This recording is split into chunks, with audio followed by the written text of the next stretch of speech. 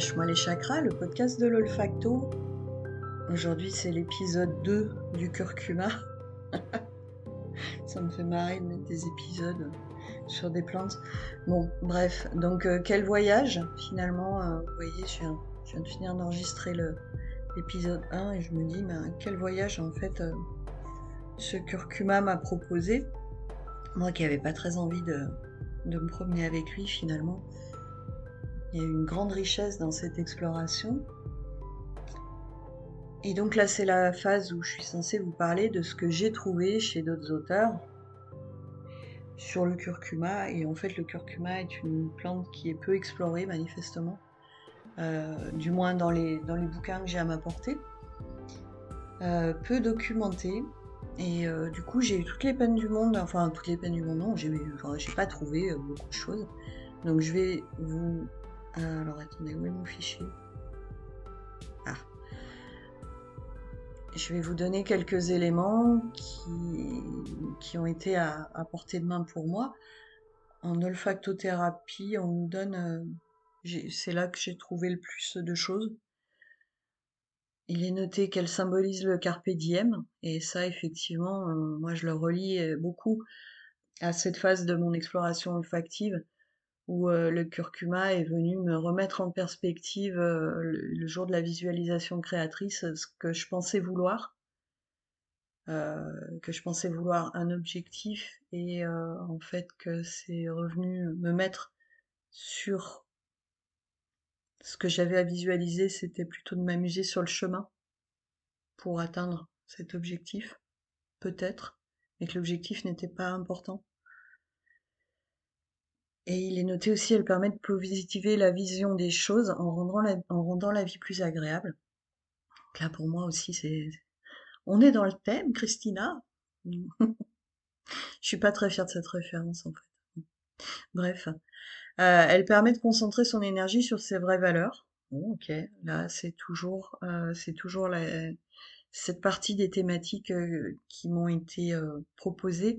Alors je reprécise qu'en fait ces textes-là, les choses, les livres, etc., quand je fais une exploration olfactive, je ne lis rien sur la plante avant pour me laisser vraiment la chance d'explorer pour moi et pas d'explorer en fonction des croyances que j'aurais intégrées de cette plante. Euh, il est noté aussi à avoir la vie du bon côté, à s'élever l'esprit, à ne pas s'encombrer de futilité. Bon, c'est toujours la même thématique hein, euh, qui tourne autour, exprimée de façon différente. Alors facilite la prise de décision, je sais pas, euh, je sais pas, ça j'ai pas l'impression de l'avoir traversé. Par contre, purifier les systèmes énergétiques, ça, ça me parle des sensations que j'ai eues le premier jour, des sensations de fourmillement électrique au niveau du corps. Peut-être aussi de la thématique de, débouchage. Elle m'a permis de déboucher énergétiquement mes toilettes. bon, bref, euh, voilà. Alors, il est noté qu'elle est associée au chakra du plexus solaire. Alors moi, pour le coup, elle s'est associée à plein de choses, hein, en fait. Euh, que je reprenne mes notes, mais euh, au niveau du voyage dans les chakras, hmm, c'était comment? C'était où? Oui, apaise le 3. Ouais, je l'ai aussi au niveau du 5, au niveau de l'expression. Je l'ai quand même eu souvent au niveau du 6.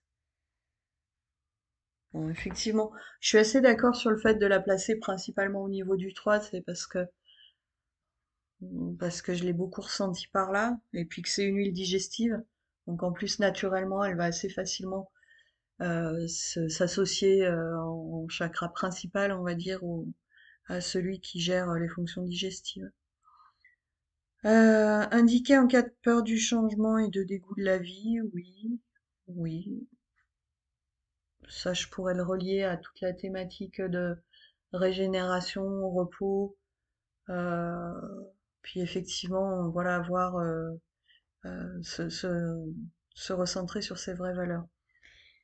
J'ai eu la chance que peu après mon exploration, il y ait euh, Lydia Bosson, qui est euh, une des références en fait euh, dans, l'exploration énergétique des huiles, qui propose une, visio et du coup j'ai pu me connecter, on pouvait poser ces questions. Donc je lui ai posé ma, question sur l'huile essentielle de curcuma, quel était pour elle son, son ressenti, vu qu'il n'est pas, le curcuma n'est pas dans, enfin, dans les livres que j'ai d'elle, en tout cas, il n'y est pas. Et donc, du coup, elle, elle a parlé d'ancrage au niveau du curcuma, de voir avec clarté. Donc ça, ça, ça me renvoie aussi, oui, à, des choses qui se sont éclairées pendant ma méditation. Elle m'a dit c'est une purificatrice du mental qui permet de voir ses schémas, croyances et entêtements. Et ça, euh, alors pour moi, c'est typiquement ce que, ce que j'ai vécu euh, lors du jour où, euh, où j'ai contacté, bah voilà, qu'est-ce qui me bloque, quels sont mes bouchons en fait, qu'est-ce que je dois laisser aller, qu'est-ce que je dois laisser circuler. Et du coup, voilà, c'est la, même thématique exprimée une fois de plus différemment. Elle m'a dit qu'elle permettait de mettre de la souplesse, de la flexibilité, de l'antirigidité. Et c'est vrai qu'au niveau physique, euh, très souvent, on va dire que le, curcuma, pour ses vertus antioxydantes et anti-inflammatoires, va pouvoir aider les personnes qui ont euh, des rigidités articulaires. Ben, très souvent, on va pouvoir transposer euh, les, les, les je cherche mes mots aujourd'hui. Les capacités physiques, non, c'est autre chose. Les, euh, les, bienfaits physiques d'une huile sur ses bienfaits psycho-émotionnels ou énergétiques. Et là, c'est une fois de plus le cas. Elle m'a également indiqué que c'était une huile qui permettait d'avoir du discernement. Bah oui, purificatrice du mental, permet de voir ses schémas, croyances et entêtements. C'est déjà la base du discernement. Et euh, que c'est une huile qui permettait de s'alléger. En cela que c'est une purifiante du foie et du pancréas. Et là aussi, on va pouvoir faire un parallèle avec ces, euh, avec ces bienfaits hum, psycho-énergétiques. Euh, voilà, j'ai rien d'autre qui soit issu de la littérature à ma disposition. Si vous en avez, ben, n'hésitez pas à me le dire. Euh, c'est toujours intéressant de recouper. Alors, au niveau des, des propriétés thérapeutique. Voilà, c'est ça que je cherche, des propriétés et indications thérapeutiques euh, du curcuma. Alors, c'est Michel Faucon qui en dit, c'est un des plus grands gestionnaires hépatodigestifs. Euh, donc, elle est cholérétique carminative anti-hépatotoxique. C'est un antioxydant cinq fois plus puissant que la vitamine E qui piège les radicaux libres oxygénés. C'est un protecteur cellulaire anti-inflammatoire. Et c'est peut-être ce que je sentais en fait quand je lis ça. bah forcément pour moi ça, ça va faire écho avec cette sensation d'être euh, euh régénéré, que les cellules sont régénérées et nourries vraiment au cœur de la cellule. Ah, c'est assez intéressant. J'avais pas vu ça encore. Alors, il met anti-cancer avec un point d'interrogation parce que je pense que ce sont des études en cours en fait. Euh, il est noté qu'elle est anti-mutagène et anti-carcinogène euh, une note des expérimentations animales ont été conduites dans ce sens. Il augmente le catabolisme des oestrogènes, ça j'ai strictement aucune idée de, de ce que ça veut dire, mais bon, peut-être que ça vous intéressera vous. Enfin, c'est pas que ça m'intéresse pas, c'est juste que j'ai pas compris, il faudrait que je cherche. Antalgique, antibactérienne et antifongique. dans les contre-indications, ne pas utiliser pour les bébés, les enfants ni en cas de grossesse, elle est neurotoxique et abortive en fonction de la dose. Voilà pour ce qui est noté dans ce bouquin-là, qui est malgré tout euh, pour moi une des références où on est vraiment sûr de ne pas se planter et de ne pas trouver des sottises. Hmm. Alors, des fois, on trouve, voilà, sur un autre fichier, j'ai noté d'autres euh, propriétés thérapeutiques et je vois des choses qui ne sont pas là, notamment au niveau des cycles menstruels irréguliers. Alors, les, les douleurs articulaires et musculaires, je vous en ai parlé. Euh, rides et ridules, ben ça j'imagine que c'est en externe.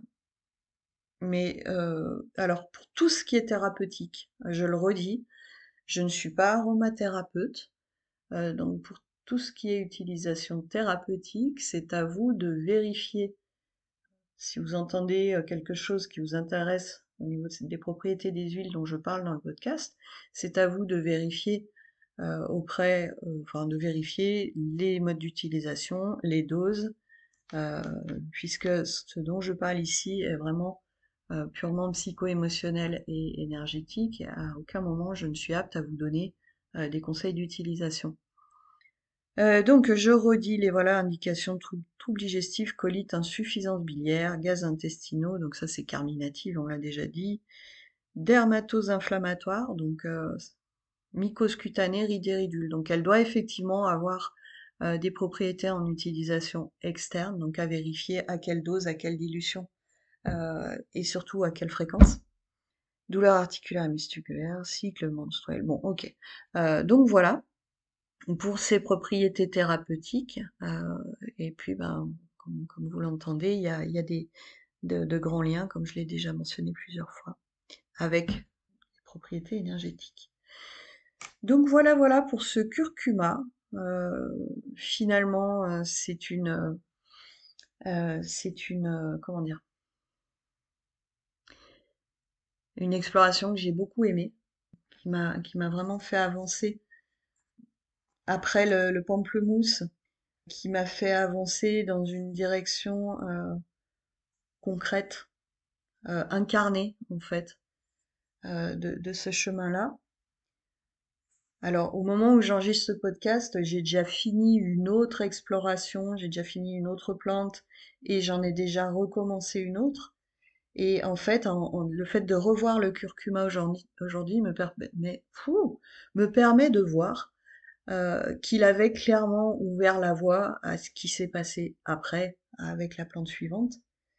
Et euh, mais ça, je le savais déjà, évidemment, que ces explorations olfactives sont un chemin euh, où les accompagnants quelque part se, euh, se relaient pour euh, pour, pour, pour, presque, j'ai la sensation de me tenir la main. Et finalement, vu ce qui s'est passé avec celle d'après, la thématique de tenir la main m'est venue à la bouche de, façon très pertinente. Voilà pour la clôture de ce curcuma. Je vous ferai un épisode bonus euh,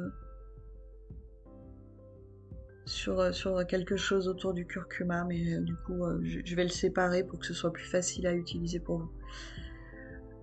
Et eh ben là-dessus, il me reste plus qu'à vous dire n'oubliez pas de vous abonner au podcast, de le partager aux personnes que ça pourrait animer autour de vous, ou intéresser, ou intriguer, voilà. Et puis euh, ben, sur ce, euh, j'ai envie de vous dire euh, bisous bisettes, à bientôt